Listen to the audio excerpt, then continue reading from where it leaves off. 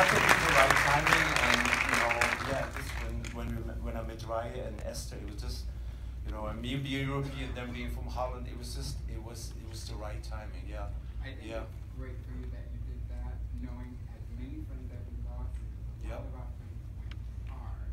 Yeah. And it was not a death sentence. You know, so I. Thank you. No, no. Thank you. Thank you. Thank you.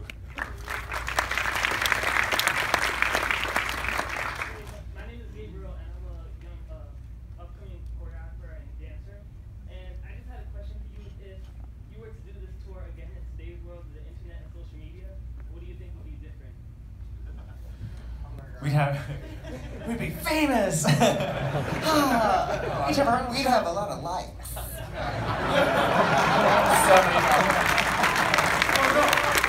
I think my my take on that question is I think that you know while when it came out in the '90s, it was a it was a time to celebrate us and celebrate her.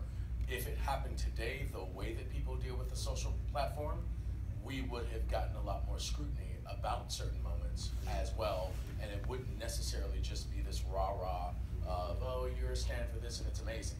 Because that's not what people